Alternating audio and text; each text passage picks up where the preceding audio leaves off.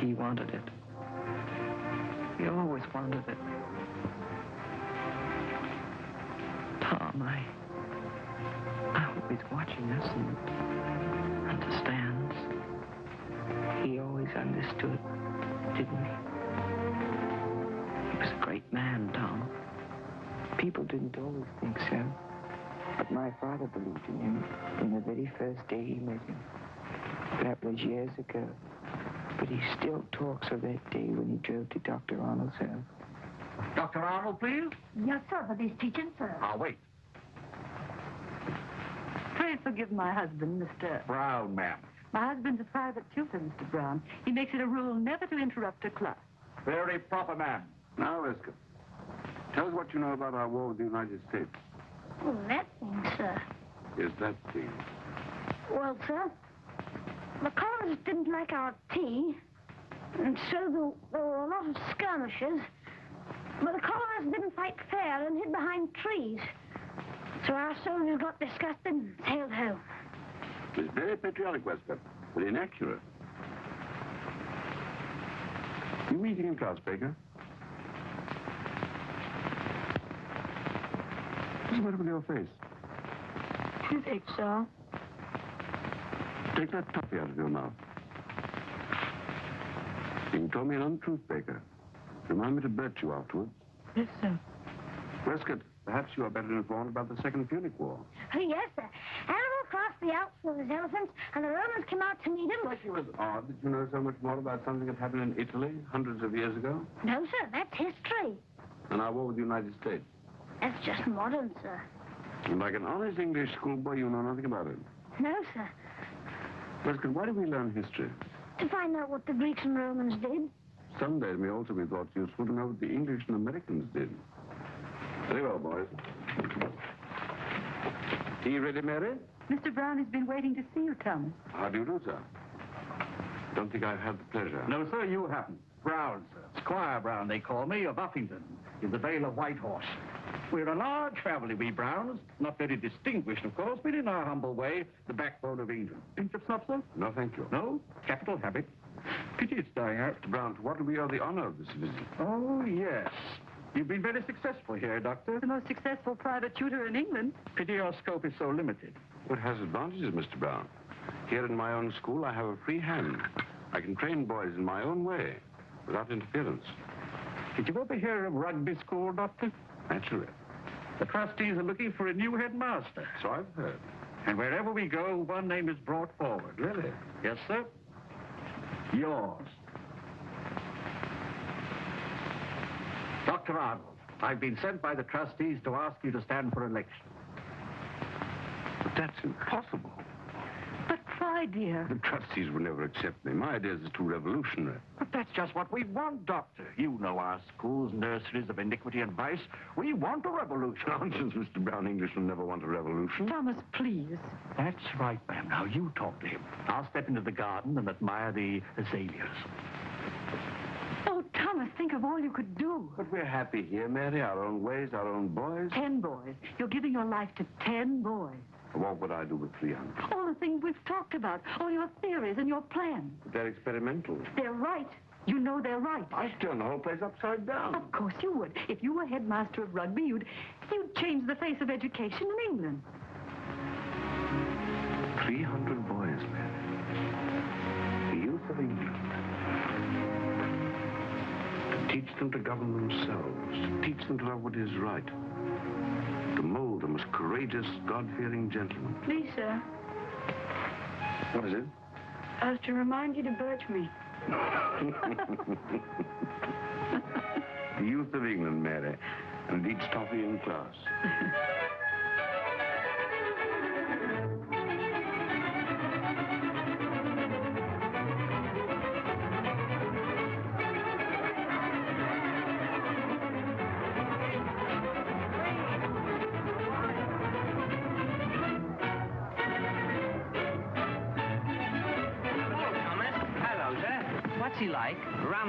very rum. Rummiest headmaster I ever did see. Isn't going to be a nuisance, is he? We can only hope, sir. But when he opens his mouth, we'll know the worst.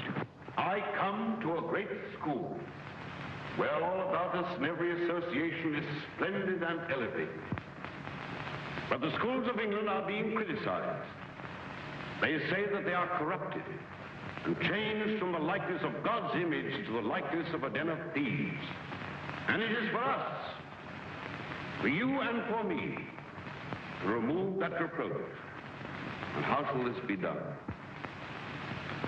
You who are boys in our schools today may tomorrow govern a great nation. But those who are to govern others must first learn to govern themselves. Our schools must no longer be based on tyranny. The headmaster as the chief tyrant and the assistant masters as lesser tyrants. They must be based on the determination of each of us, all just and reasonable beings, to do what is right.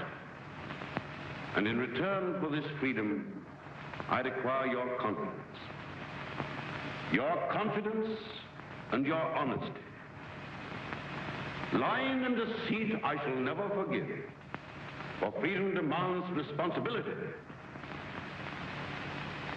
Those who are oldest and wisest amongst you, the sixth form, will have a special responsibility.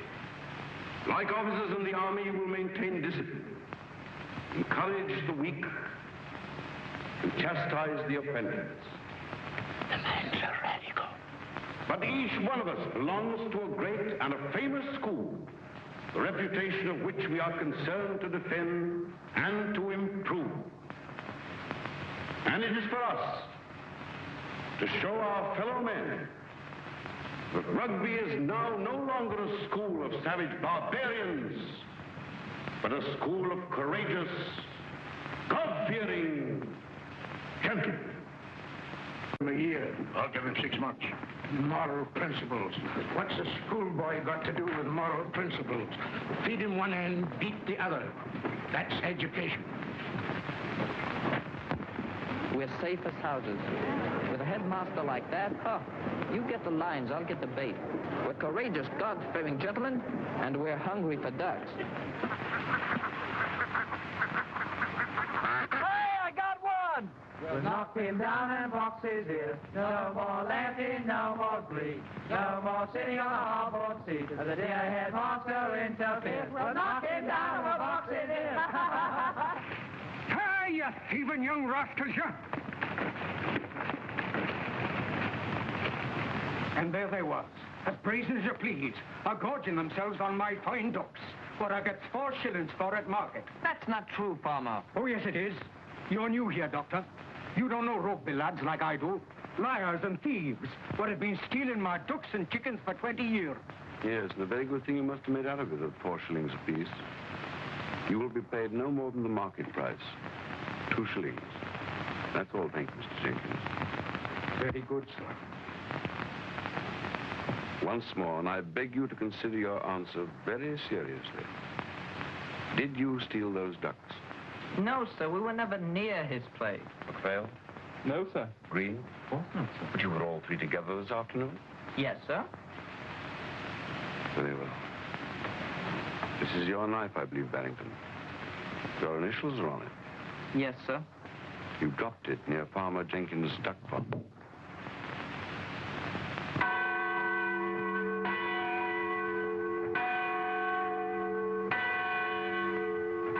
I told you that it was my passionate desire that the boys of rugby should learn to govern themselves. But I also told you that I would not tolerate lying or deceit. For he who governs himself must be honest in thought, in word, and in deed. But you lied to me. Expulsion is a serious and a lasting disgrace. It brings sorrow to your parents and calamity to yourself. Rugby is greater than any three of its boys. There is no longer any place for you in this school. You did what you thought right. It was right, Mary. It was. Those boys were liars, and liars were poison and corrupt. I cannot begin until I've got rid of them. There will be more expulsions, more suffering, more misery. Better to have but a hundred boys here, Mary. Sixty, thirty, as long as the few are honest, God-fearing, courageous.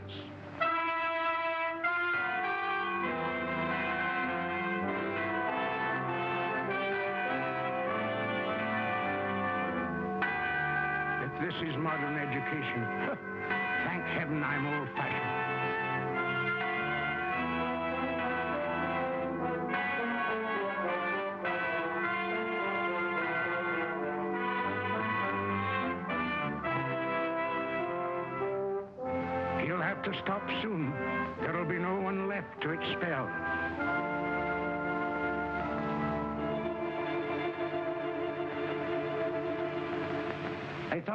Called a meeting of the trustees, you would like to see what the Times says about you. I have already read it, thank you, Mr. Grimsted. Very awkward, all these letters about your expulsions. Quite a storm of protest. Why, some of them might almost have been written by you, Mr. Grimston. On the contrary, I have received letters of protest myself. So have I. Fale's father, Barrington, left the country. It appears that I'm a heartless villain who delights in expelling boys, ruining their future and breaking their parents' hearts. Perhaps you care to read them. But your methods are revolutionary, sir. They are intended to be, Mr. Grimsted. Yes, sir. Someday I'll throw that man downstairs. Telegram is the least of Mary. Mr. Brown, sir. Good day to you, sir. My respects to you, ma'am. How do you do? Are the other trustees with you? They are not sir. They express their sentiments by staying away. I'll go. No, ma'am. I want you to hear what I have to say. Will you call the meeting to order, Doctor? Mr. Brown, when I accepted this appointment, it was on the condition that I was to have a free hand. I do not intend to offer my resignation. You are aware, I suppose, that public sentiment is against you. It is not my habit to yield to public sentiment. Do you support him in that, ma'am? I do. In that case, it's my duty to inform you, sir, that I'm with you with all my heart. I respect your methods. I admire your courage. I'll back you to the end. That's a very brave attitude, Mr. Brown. Brave, sir? No. Stubborn. We Browns are stubborn and proud of it. And just to show you how stubborn I am, I'm going to send my own son to rugby.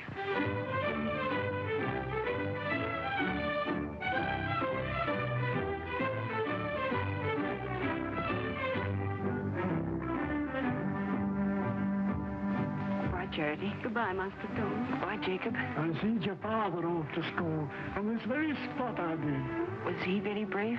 Oh, bored like a cow. Dashed if I'm going to cry. this here pea shooter. Made it for you myself, I did. It cost his nose at 30 paces. Thanks, Jacob. Bye, Nanny. for your cold feet, Master Tom. Thanks, Nanny. You may kiss me just once, but no trimmings, mind. Thanks for not saying be a good boy and wash behind your ears and all that. But you will, though. Promise you won't forget. All right, Tom, come along.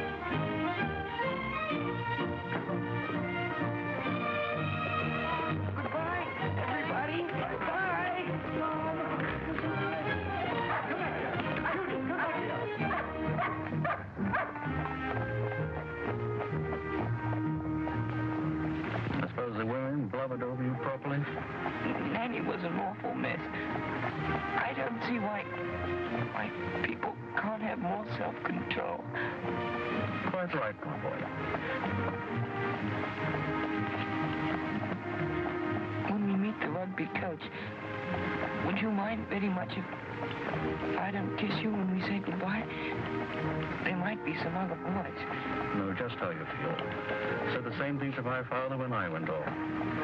So we'll just shake hands like two old gentlemen. Thank you, sir.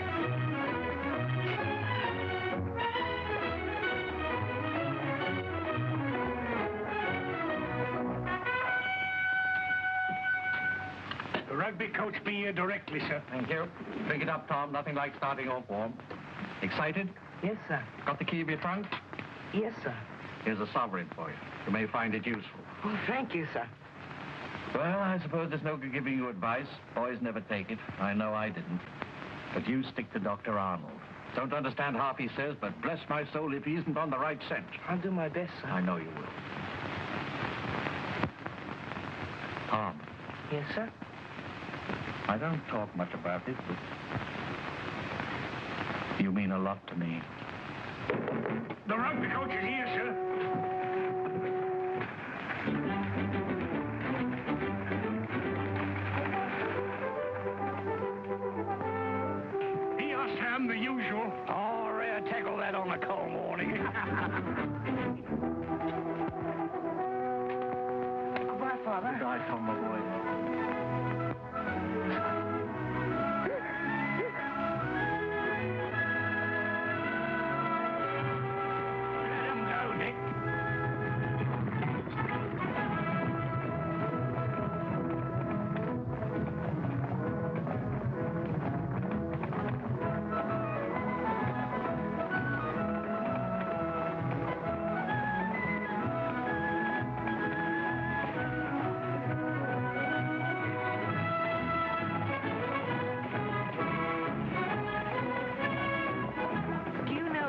By any chance? Lord bless you, sir. I go through it every day of my life. What sort of place is it, please? Slow place, sir, very slow. Only three coaches a day. And one of them a two-horse one, more like a hearse than a coach. Uh, belong to the school, sir? Well, that's to say I'm a new boy. Oh, I thought as much. Nice, quiet gentleman like you. Are the other boys pretty wild? Wild. He gets into all kinds of rows along the road, what with their ordering and their pea shooters and so forth. I've got a pea shooter. Yes, I see you have. Oh, they say you'll be as big a varmint as the rest.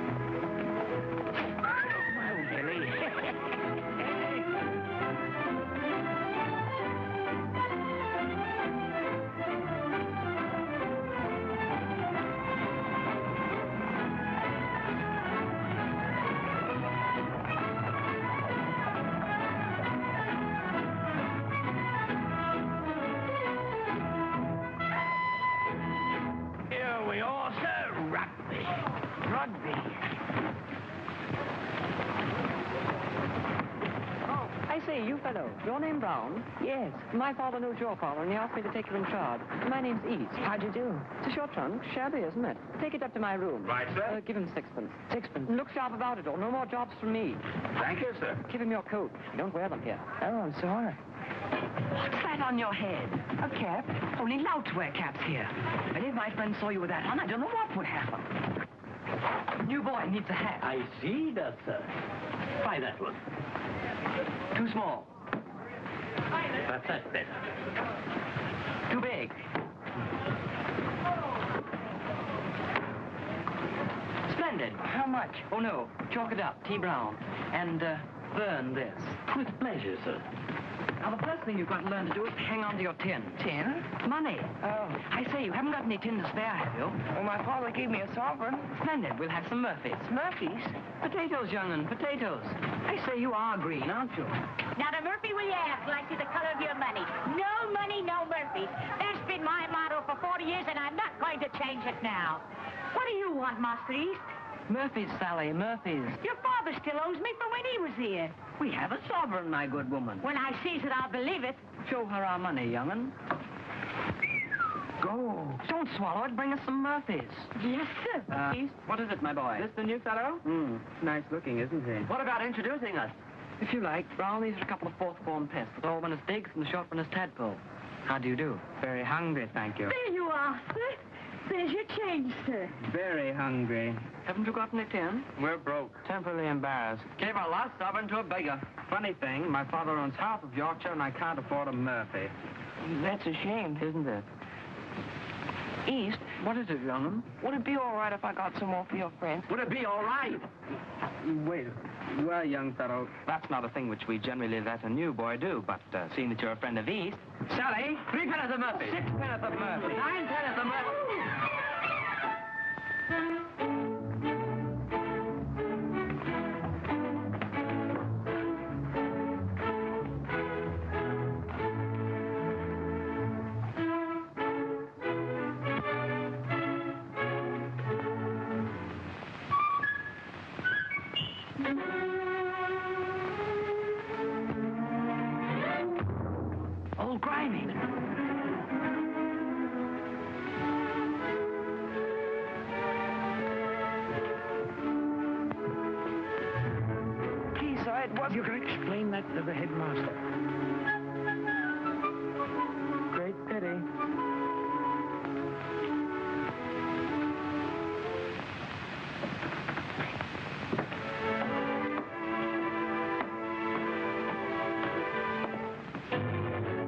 Go up.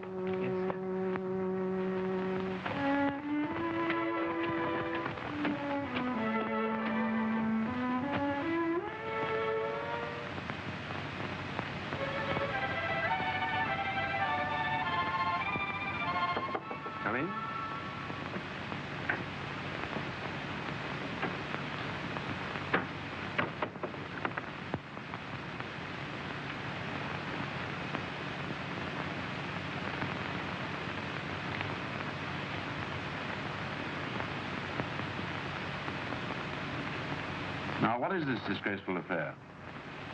Who are you, boy? Brown, sir. Brown? I'm the new boy. Oh, yes, of course. Why didn't you report to me before getting into mischief? I didn't know, sir. You realize that you might have done somebody a serious injury with this? That isn't mine, sir. I didn't shoot it. Now, come round. Don't begin by telling lies. But I didn't, sir. I tell you I didn't. What happened? Well, you see, sir, there was a bird. Well, someone aimed at the bird, and suddenly, old Grimy just got in the way. old Grimy? You mean Mr. Grimstead? Yes, sir. Then, then everybody suddenly disappeared, and, and there I was with, with that in my hand. I believe you, Brown, because you are your father's son. Because a liar would have told a much more plausible story. Oh, thank you, sir. You wouldn't like to tell me who the someone is who aimed at the bird and brought down Mr. Grimstead? No, sir, I couldn't do that. No, I thought not. So you're Squire Brown's son. Yes, sir. This is an important day for you. Yes, sir. An important day for the school, too. A new boy is always important. He may be an influence for good or for evil. Your father once did a very courageous thing, Brown. I know that you won't fail him. Now run along. See if the matron has the keys for your trunk. Yes, sir. Brown, Yes, sir. remember from now on I trust you. Never hurt me by breaking that trust. I promise, sir. Very well.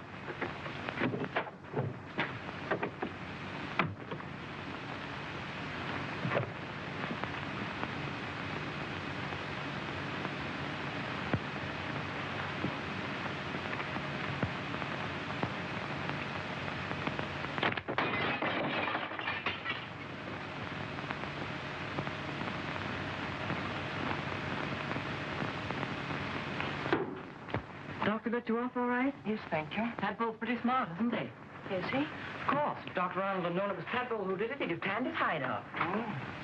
Brown, you didn't say it was Tadpole who did it, did you? Oh, no, of course not. Well, that's all right. Remember, my boy, never tell tales. It isn't done. East, Yes, my boy. the doctor's wonderful, isn't he? Doctor? He's all right. Fellows in the sixth form think he's one of the best. I don't take him seriously. Is this your study? Yes, what's wrong with it? Oh, nothing. It's it's wonderful. I'm going to let you share it with me. Uh, give me your key. Oh, you really mean it? Yes, if you don't hang around me all the time. Don't forget, I can't be seen with a new pillow much. Oh, of course you can't. I promise I won't bother you. Mm, lots of food, all right. Uh, strawberry or raspberry? Strawberries. Looks good. It's very decent of you to put up with me at all. Oh, that's all right, young'un. I'm only doing it to please my father. He'll be good for a five-pound note when I tell him how decent I've been. All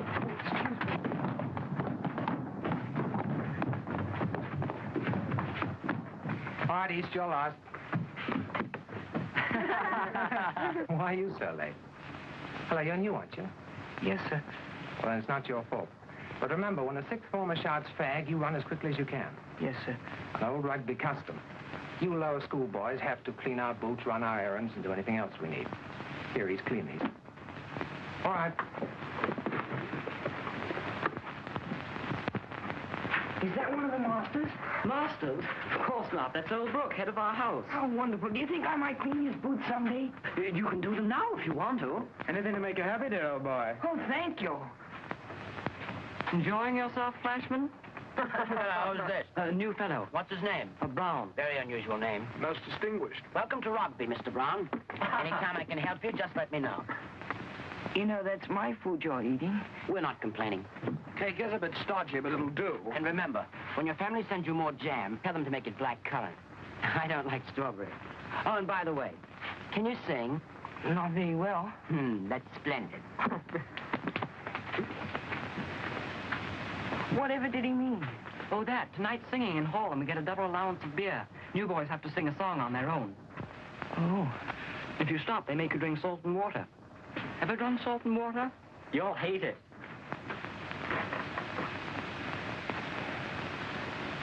In Scarlet Town, where I was born, there was a family dwelling.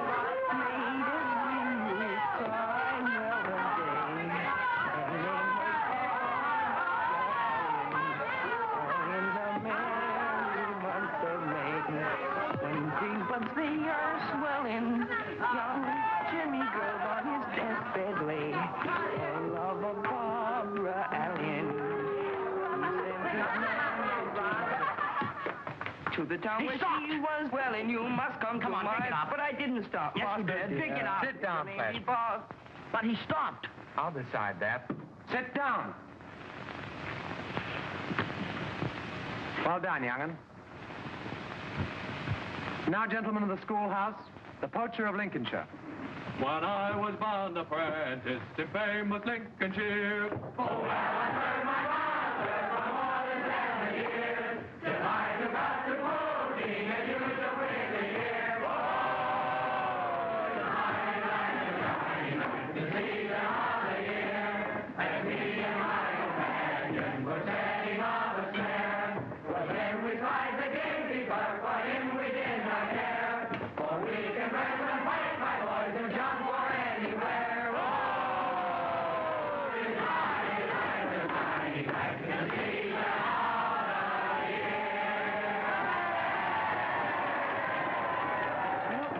to upset Flashy, all right. But I didn't do anything. Flashy likes getting his own way.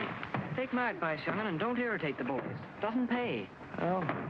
Might have been simpler if you'd have drunk the salt water. Where's Brown? Ah, Mr. Brown, the great vocalist. Ever been tossed in a blanket? I don't think so. Splendid cure for obstinate boys. Take them down a peg or two. Come on, here we go, fellas. Ashley, you take it in. All right, Brown, in you go. Keep your head, Brown, or anything may happen. Put it Brown, that's better. Run the other way more.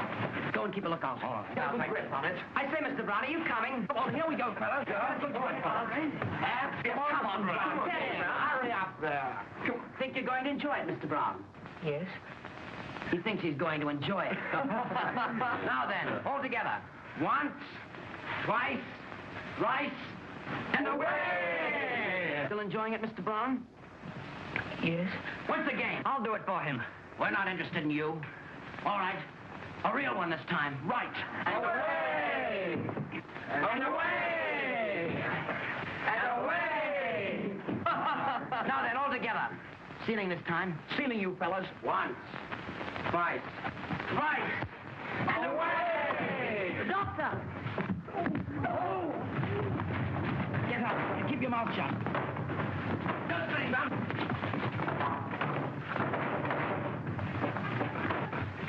Brown! Come on, I can't get up. You walk on that leg even when it's broken. What are you doing out of your room? I'm sorry, sir. Well done, young'un.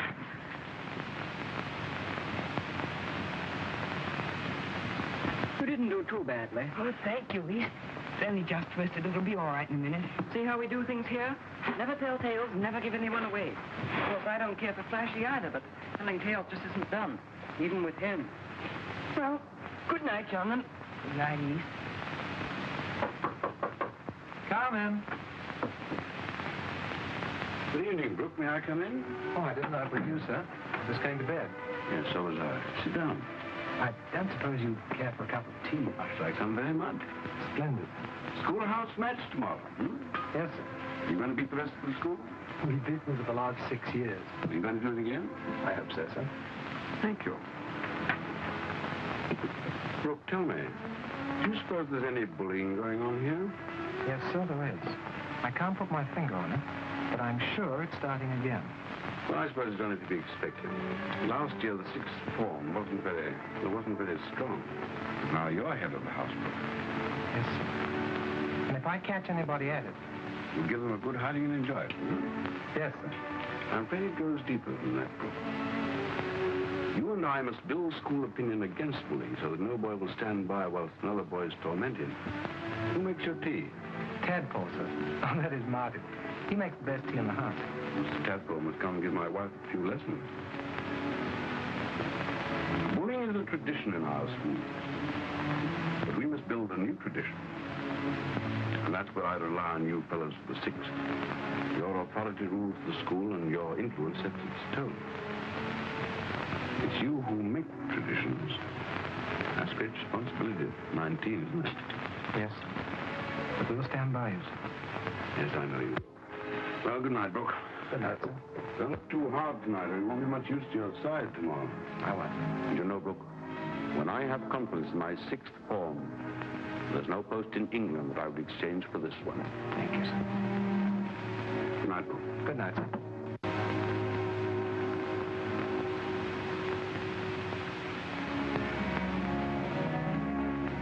Your foot still hurt? No, it's much better, thank you, Eve. I say, you aren't going to be homesick or anything awful. No, no, thank you, Eve. Then what's the matter? I say, Rugby's wonderful, isn't it?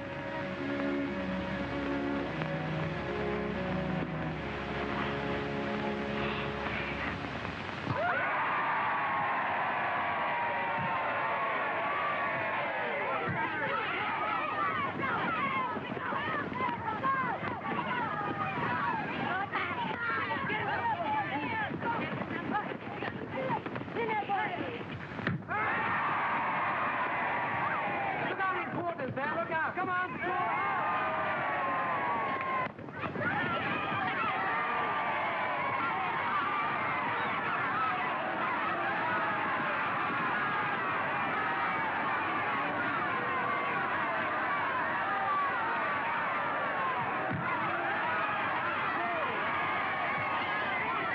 Quick! Put it down!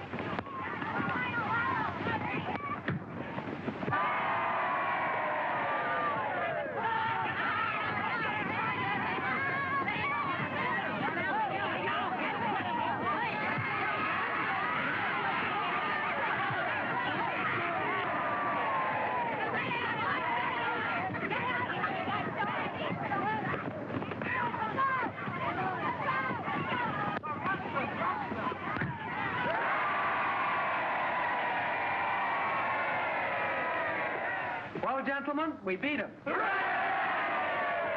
That large charge of theirs would have carried away our house, but we beat him. And why did we beat them? Your play. Nonsense. We beat them because we're proud of the schoolhouse, and we mean to keep it the best house at Rugby. Now, I'm as proud of this house as anyone, but it's still a long way from what I'd like to see it. There's a deal of bullying going on here, and depend on it, there's nothing breaks up a house like bullying. Bullies are cowards, and one coward makes many. Now, I know a lot of you say, stand by the good old ways and down with the doctor. Well, let me give you a word of advice. In the first place, they weren't the good old ways. They were the bad old ways. And in the second, down with the doctor is easier said than done. You'll find him pretty tight on his perch, an awkwardish customer to handle. He doesn't meddle with anyone worth keeping, but look out for squalls if you go your own way, and that way isn't the doctor's. And bullying isn't his way, and it isn't my way, and it isn't the way of any decent fellow in the house. So let's have an end to it. Well, and now I've done blowing you up, and I'll give you a toast. To be drunk with three times three and all the honors. The toast that binds us all together, and those who've been before here, and those who'll come after. To the dear old schoolhouse, the finest house and the finest school in England. Good.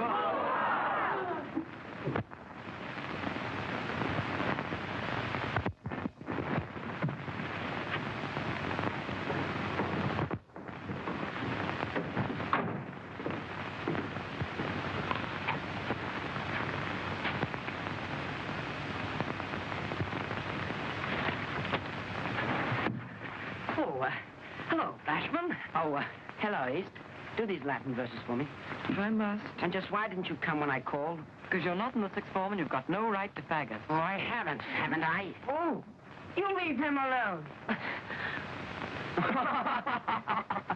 and why must I leave him alone, my little man? Because it's bullying, that's what it is. And Mr. Brown doesn't approve of bullying. No, of course I don't. On second thoughts, you'd better do the verses. A bright boy like you. And do them at once. Must turn them in before third lesson.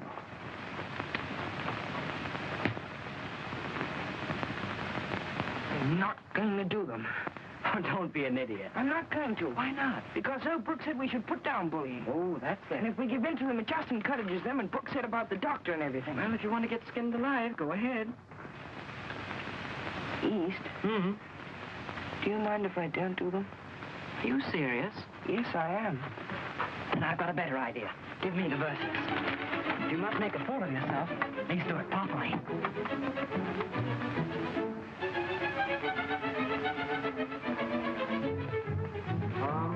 Five Wimpy. Yes, sir? Hey, come here. Yes, sir. Of men. This is capital, Flashman. Capital. Thank you, sir. In some of these lines, I see a humility of character I did not think you possessed. Always try to be humble about my work, sir. Excellent. You're only one year behind the fifth. This may alter your position. Thank you, sir. Eh, read the last few lines, please. Yes, sir. Post ego versiculos scripsi. Sed non ego feci. To me he pray... Sure. Illi... Translate.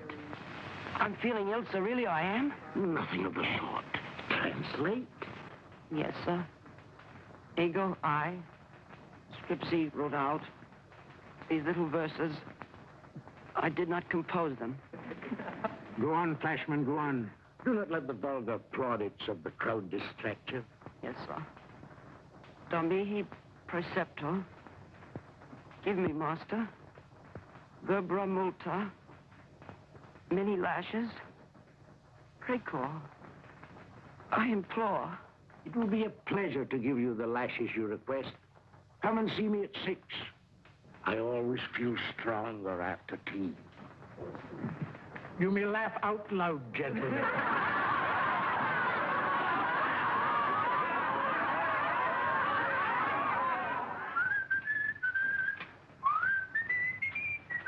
Mr. Brown. Hello. You're a great wit, aren't you? Aren't you? No. That's right, you're not. And you're going to old Grimy to tell him it was just a rotten joke, aren't you? No. Do you know what we do to new fellows who get above themselves? No. To the fire and hall? You bet there is. Now, Mr. Brown, are you going to old Grimy? No. Are you going to old Grimy? No, I'm not. Grab me by the heels.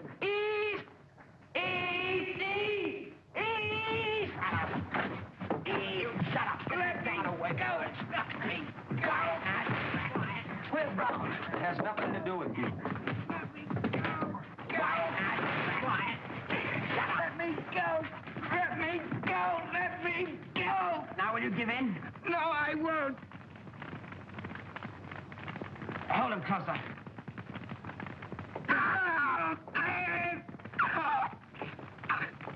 Careful, Flashy. His clothes are smoking. Hold him closer. Let me go. Why, you little... Now, will you give...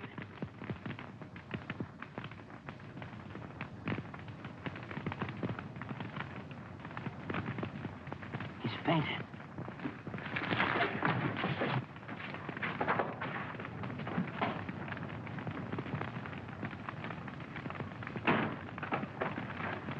Tom! Tom!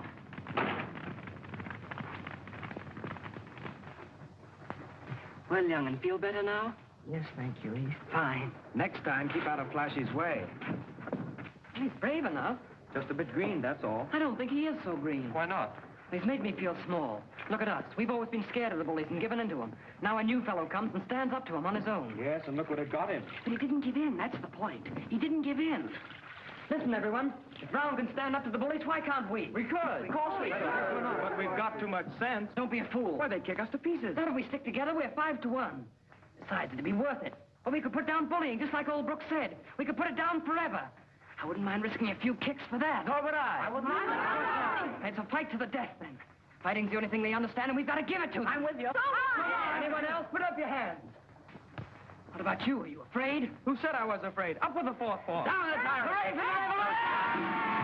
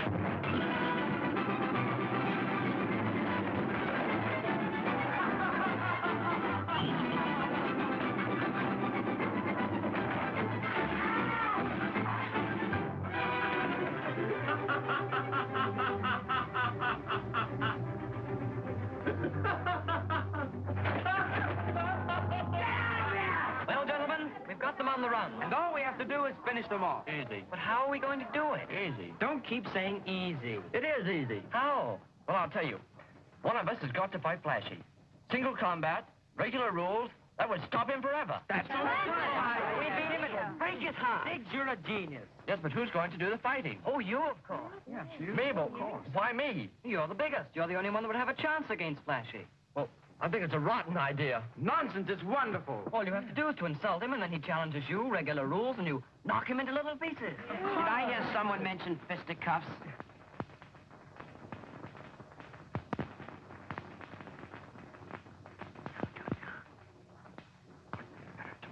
No, go on.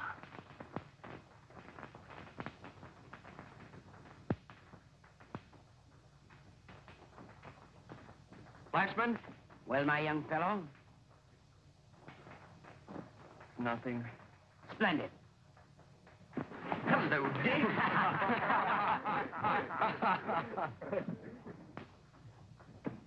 Why didn't you do it? Thought I might kill him. You'll never beat them now. Mr. Flashman. Look! You're a coward and a bully and a toady and you smell. You little rat. Come on. Fair fight, Flashy, fair fight. Regular rules. Unless you're afraid. Better do it, Flashy, and teach them a lesson. All right, you've asked for it. You'll get it. Fight, Donald Fight!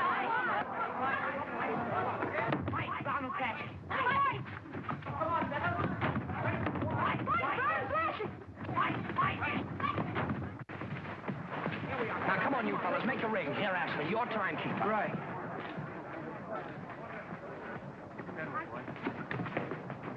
Come on, Brown. Come on, Brown. Don't take too long about it. I won't. Time. Good luck, Brown. You'll need it. Come on, come on.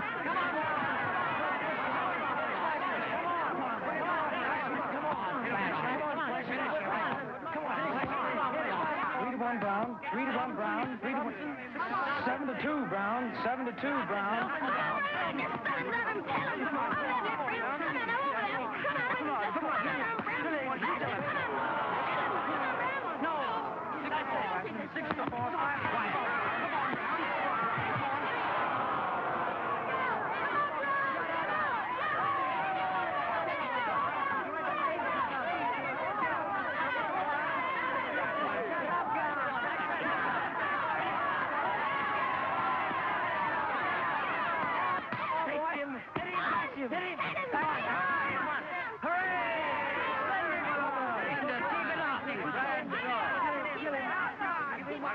You're taking a long time. Your one chance. Right. Take it easy and let him come to you. Finish him off, Flashman. He's making a fool out of you. Remember, steady does it. Go on, come on.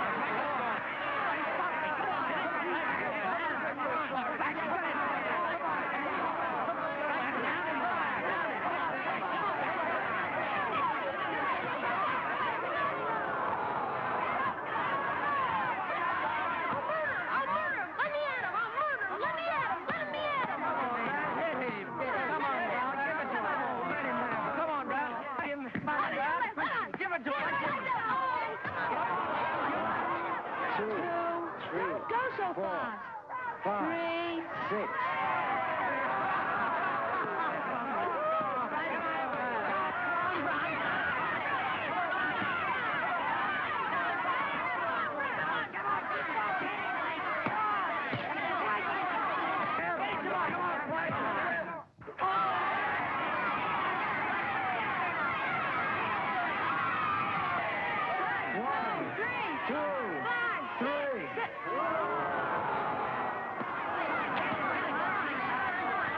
Him, come on.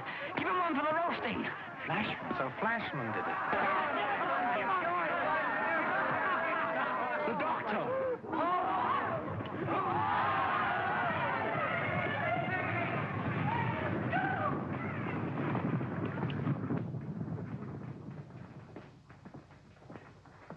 Look, I'm surprised to see you here. The sixth form is expected to stop all fights. Yes, sir. These boys must be punished. Yes, sir. Congratulations, bro. New tradition is coming along nicely.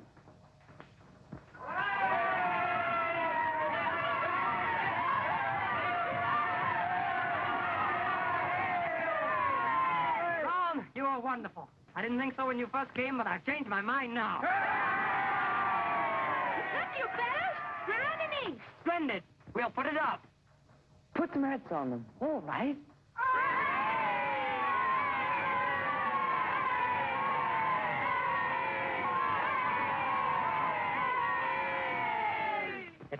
Friendship. Eternal friendship. Brown, the doctor wants to see you in his study.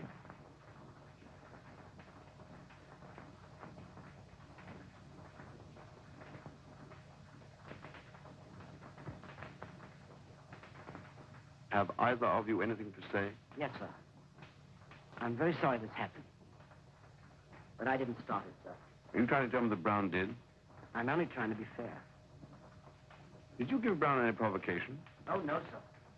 No tormenting or bullying? No, sir. Are you quite certain, Flashman? Absolutely. Very well, wait outside. Thank you, sir. Brown, I'm not going to ask you why you were fighting. I'm satisfied that you would not fight for a cause of which you are ashamed. The rules must be observed. Yes, sir. You knew the rules against fighting. You were ready to take your punishment. Yes. Very well.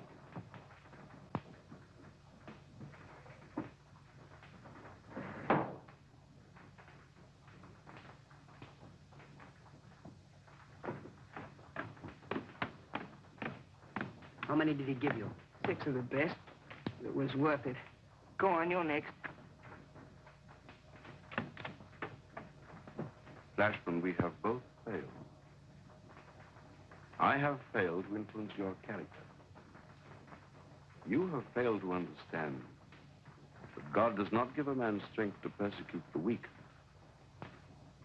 He who does so is a bully. A bully, sir? I'm not a bully. I've never persecuted anyone. Answer, Flashman.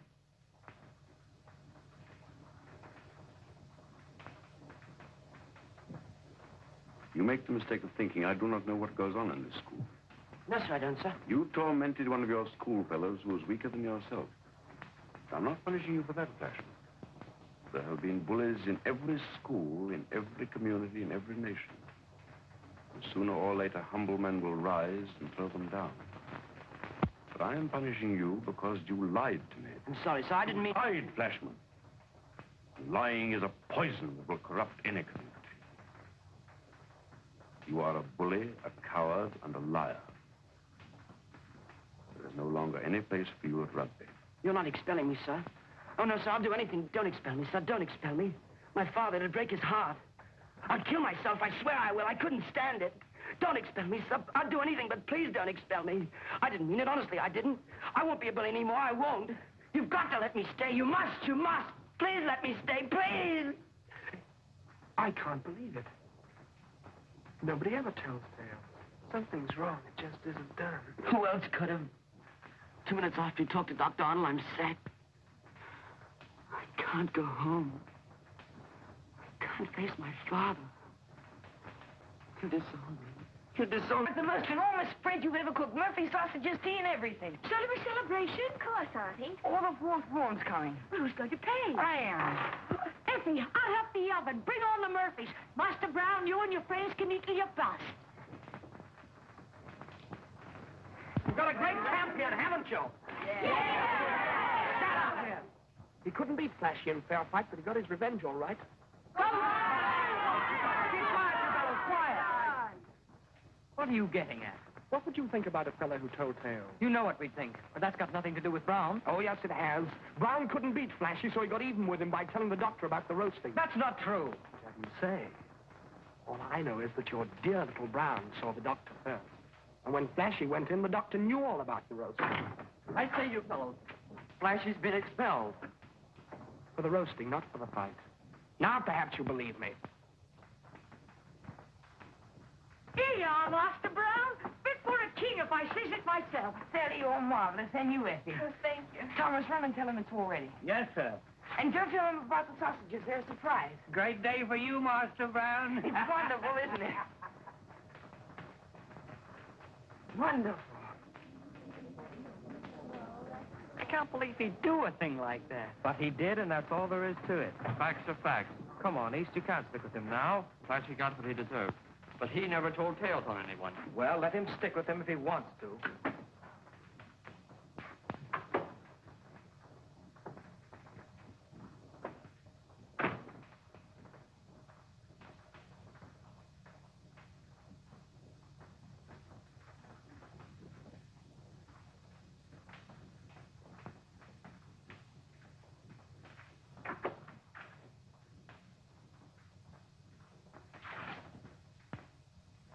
They're cold, Sally. You'll have to put them in the oven again. Well, I can't keep putting them in and taking them out. Oh, of course you can't. Effie, try off and tell them to hurry up. Yes, Master Brown. Where are the others? They aren't coming. But why not? Because you wouldn't listen to good advice. I tried to help you, young'un, but you went your own way, and now you're in for it. East, whatever's happened? Remember I warned you that we don't tell tales? Yes. Well, now do you know why they aren't coming? Good. You saw the doctor before Flashman. Yes. And when you came out, he knew all about the roasting. It isn't true. Flashman's fact, that proves it. The others don't think I told. What else can they think? They can't think that. They can't. You don't think that. You don't, do you, East? You don't. It isn't much use to me any longer.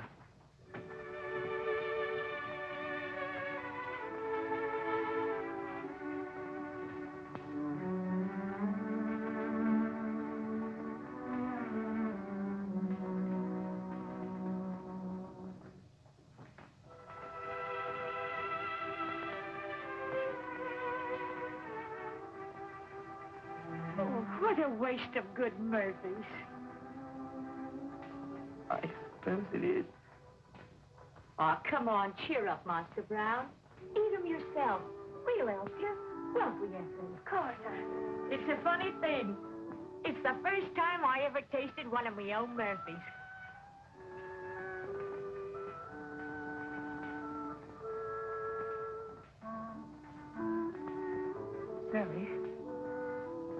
Yes, Master Brown. it's not that I don't like your muffins. I just don't feel like it. Effie, there are a peck of cruel things in this world, but there is...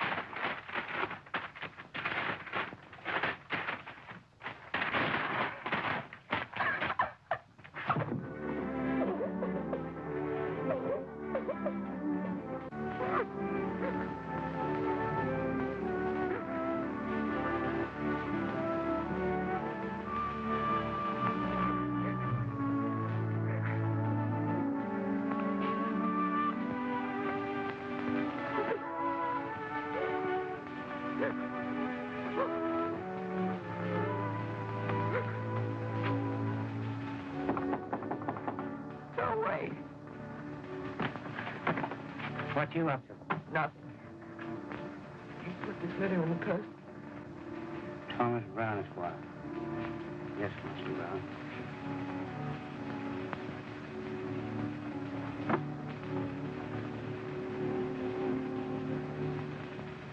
They wrecked his room, ma'am, and he feels uncommon miserable about it. He wouldn't try to run away. Looks that way to me. I've seen it happen before, ma'am.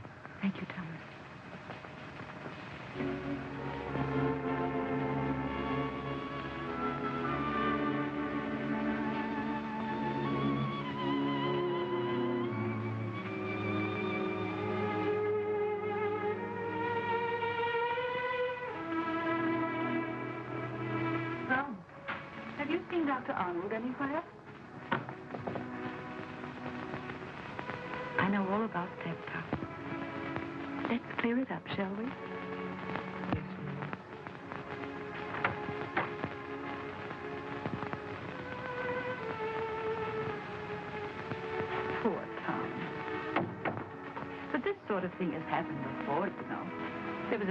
Before you came was ragged like this. He ran away. That wasn't very brave of him, was it? No, ma'am. It hurt Dr. Arnold terribly. Mrs. Arnold, Thomas? is it being a coward to give in when everyone's against you? Dr. Arnold had everyone against him once, but he didn't give in. And then your father did a very brave thing, and that helped him. I expect the Browns have always been pretty brave, haven't they? Yes, ma'am. Tom, dear. Dr. Arnold and your father are very proud of you, you know. And if you ever did anything cowardly, well, like that other boy did, it would hurt them terribly.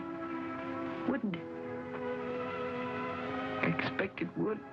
Dr. Arnold would think that he'd failed your father. Mrs. Arnold, he mustn't feel like that. I couldn't let him feel like that. No, of course you couldn't. Everything's all right now, isn't it? Yes, ma'am. Mrs. Arnold, Yes, Tom? you knew I was going to run away, didn't you? Yes, I knew. You won't tell Dr. Arnold. No, dear. It will be just between us. Thank you, ma'am.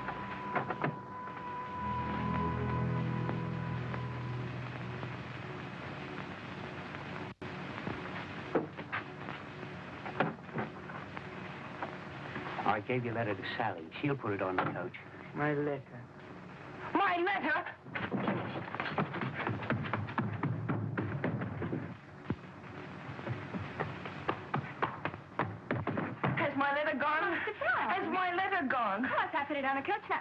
Ago. Oh, Jiminy. Didn't you want it to go? Oh, of course I did, but I don't now. Why not? Well, it was to my father, and there was something awful in it about the doctor because I was going to do something, but I've changed my mind, and I must get that letter back. How? Oh, go off to the coach, of course. But how? Oh, I don't know. Yes, I do. But that's my auntie's card. I'm going to borrow it. Dr. Brown. It's a matter of life and death. Oh, I couldn't stand by and see you take it. But if I was to turn my back... Thanks, Effie.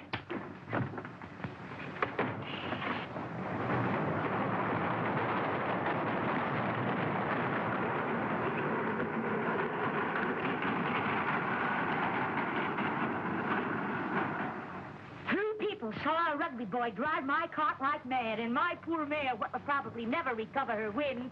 Is that all? Yes, sir. Very well. Any damage will be paid in full, of course, Mrs. Harrowell. Thank you, sir. That is, if it was one of our boys who stole your cart. Thomas, see if any boy is missing from the dormitories. Yes. You're going to search... Thomas, uh, take Mrs. Harrowell with you.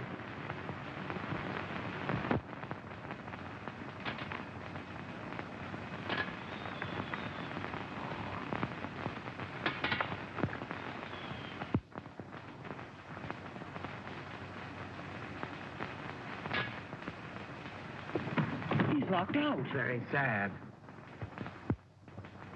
Suppose we better get him in. How? Or for that matter, why? It's too risky. If it were one of us, it would be different.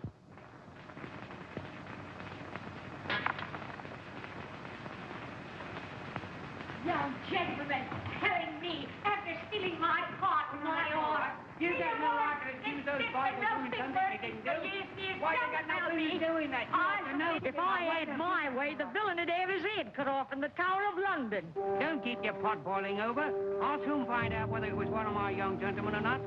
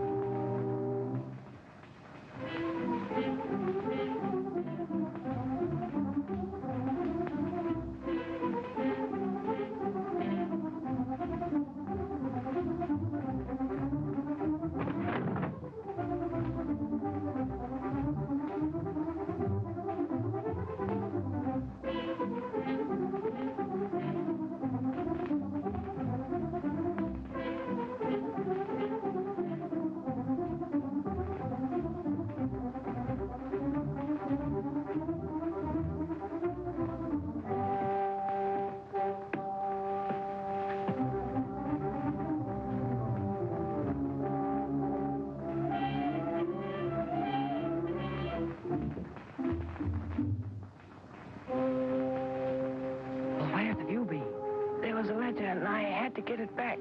So I took Sally's cart. Sally's cart?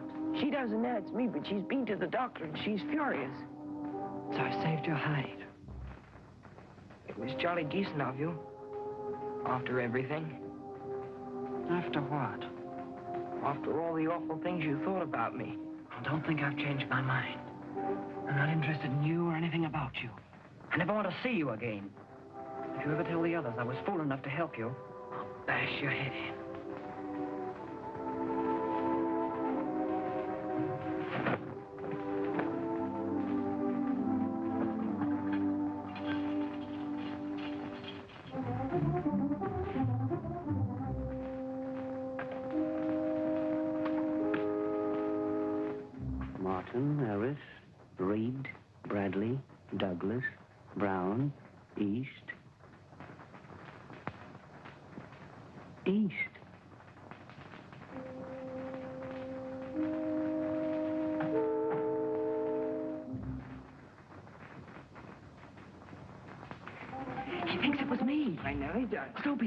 About it. He'll tell the doctor and I'll get the blame. Then all you've got to do is go to the doctor and tell him it was me. But I can't do that. You know I can't. I'm afraid you've got to because I'm not going to own up. We'll make you. Oh, no, you won't. You'll have to tell tales. Then they'll all turn against you as they have against me. Then you'll know what that feels like. You little swine. It'll do you good. But Pete, please remember the facts. Last night you were out of your dormitory. Yes, sir. Last night a cart was stolen. Yes, sir. Last night a rugby boy was seen driving that car. Yes, sir. Were you that boy? No, sir. You stole the cart, didn't you? Yes. Then go to the doctor and tell him you did. Let East tell him. You know he won't. None of us tell tales here. Except you. Are you going to the doctor? No, I'm not. You refuse to give me an explanation. Yes, sir. You realize that without an explanation, I'm compelled to believe that you are lying. Yes, sir. You know the punishment for lying? Yes, sir. Very well. You have courage, East. And few liars have courage. Oh, no! It's no good. Better leave him alone. He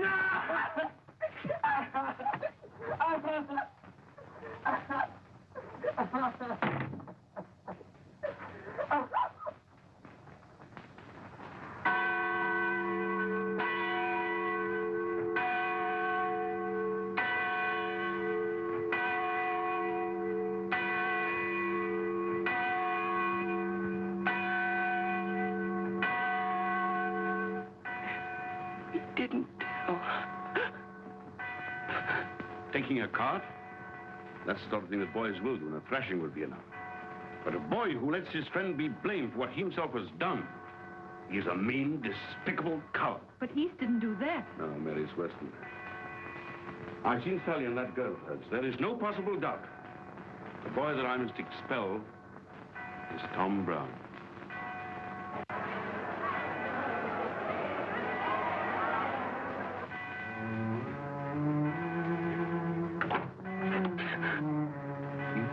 Thought you could make him tell. Now you know how we do things here.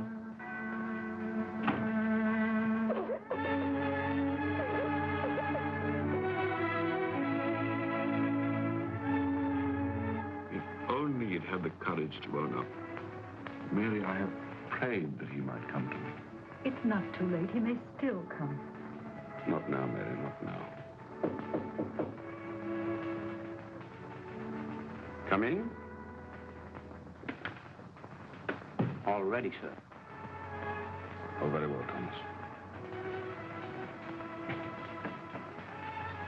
Of all my boys, Squire Brown's son. He was to have been the symbol of my success. Now he's the symbol of my failure. Not your failure, one boy's failure. My failure, Mary. He came to rugby with every promise. Rugby has made him a coward. If I fail with him, what of the others? I cannot reach any of them. There's no use, Mary. I can't go. I have deceived myself. I shall apologize to East. Expel Brown. And then I must resign.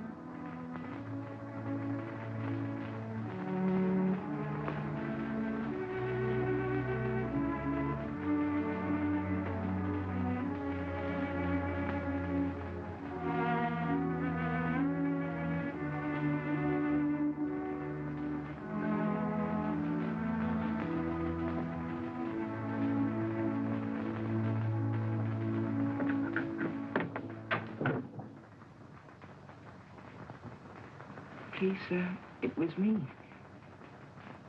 Please, sir, it was me. I stole the car.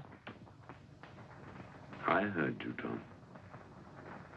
Eight, nine, ten, eleven, twelve. It's a record. And serves him jolly well right.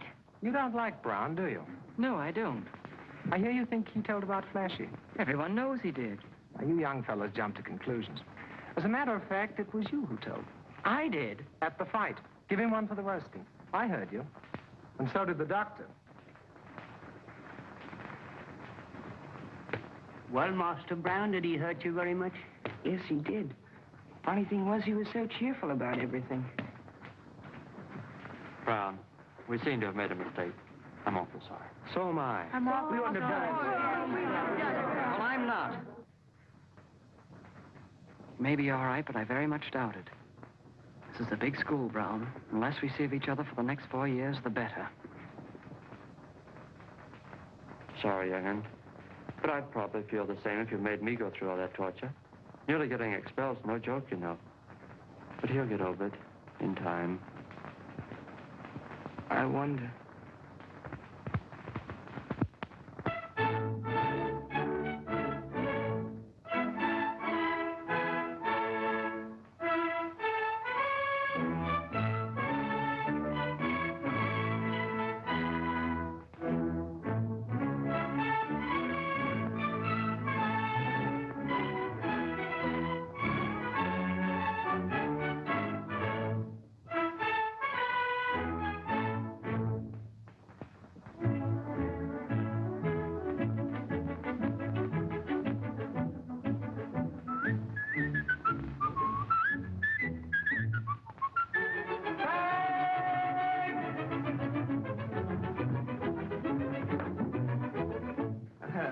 You're new, aren't you? Yes, sir.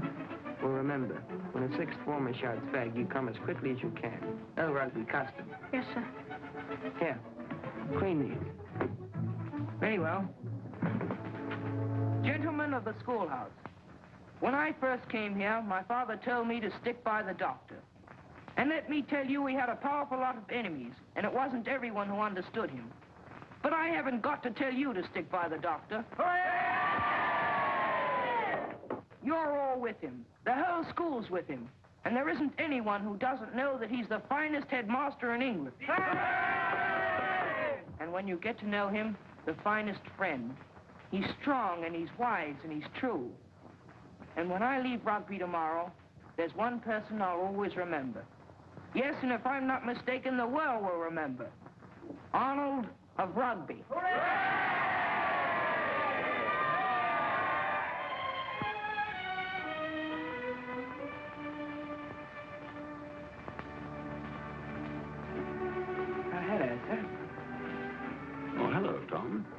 Won't you sit down? Not in your chair. I'll sit over here. I hope you're feeling better, sir. A little tired, Tom. End of term. You finished your packing for tomorrow? Not quite, sir. Sad at leaving. Of course, sir. Oh, we all feel the sadness last night. But you must look forward, Tom. Oxford next term. You find Bradley at Oxford. Remember Bradley? And Fenton. the number of thrashings I gave that boy. And here's Douglas. He's in the army now in India. And Brooke. He was your hero, wasn't he, Tom?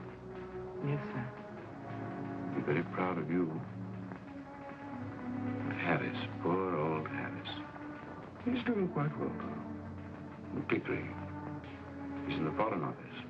He'll make a fine statesman. So many boys.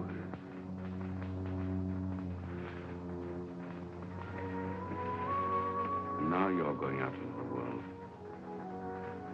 God bless you, Tom.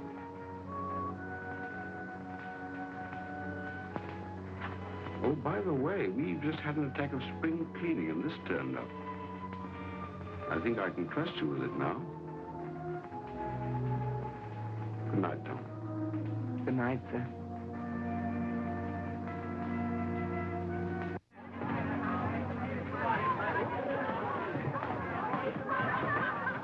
Master Ashley, Coach money to Lincoln, one pound ten, sir. You are. Master Tanner, Coach money to London, one pound five. Is it true Dr. Arnold's ill? Don't you count on it, sir. He'll be back here next year beating you as hard as ever.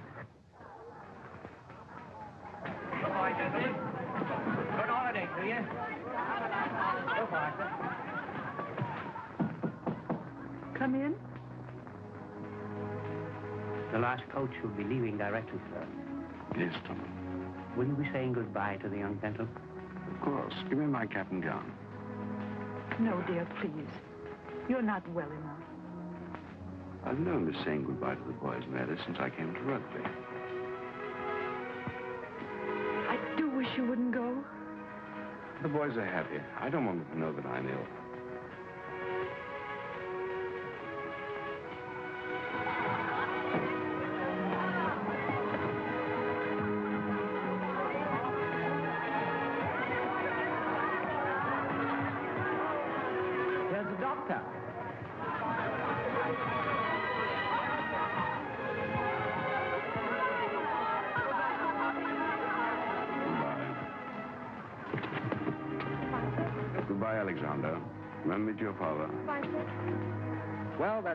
That's the of rugby. Oh, no, it ain't. You owe me six and six, you owe me one pound ten. Goodbye, Ashley. I hope you have a nice holiday. Goodbye, sir. Goodbye, East. I'm sorry you're leaving us. So am I, sir. We didn't agree at first, but now we understand each other perfectly. Yes, sir.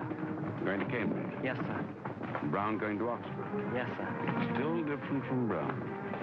Don't you think it would be a good idea if you two fellows shook hands before you left rugby? Goodbye, sir. Goodbye,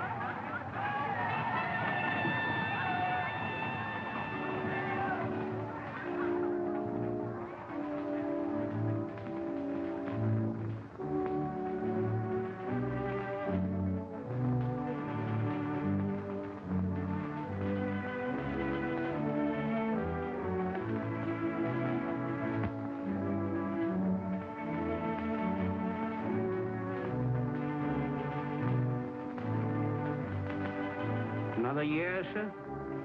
Another year. Funny thing, sir. Boys comes and boys goes. But we goes on forever.